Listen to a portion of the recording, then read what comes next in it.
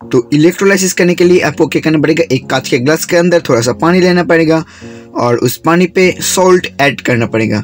Then दो whole वाले एक कार्डबोर्ड लेना पड़ेगा और उसके ऊपर रखना पड़ेगा।